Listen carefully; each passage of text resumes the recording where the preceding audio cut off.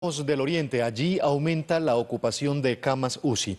El Hospital de la Ceja superó el 100% de su capacidad, mientras que el Hospital de Río Negro está a punto de llegar al límite.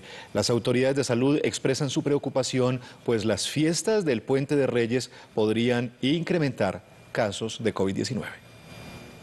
De siete casos de pacientes con COVID que ocupan camas UCI en La Ceja, dos son del municipio y cinco de municipios aledaños. Que nosotros sí tenemos pues como la, ocupación elevada, la tenemos en un 120% de camas eh, acá en el municipio de La Ceja, pero también es de, de aclarar que no todos son por COVID. De ese 120%, el 64% corresponden a pacientes COVID. En Río Negro la ocupación de las camas UCI se encuentra en 70% el 80% de esas camas son habitantes del oriente y el otro 20% son del área metropolitana, principalmente de Medellín.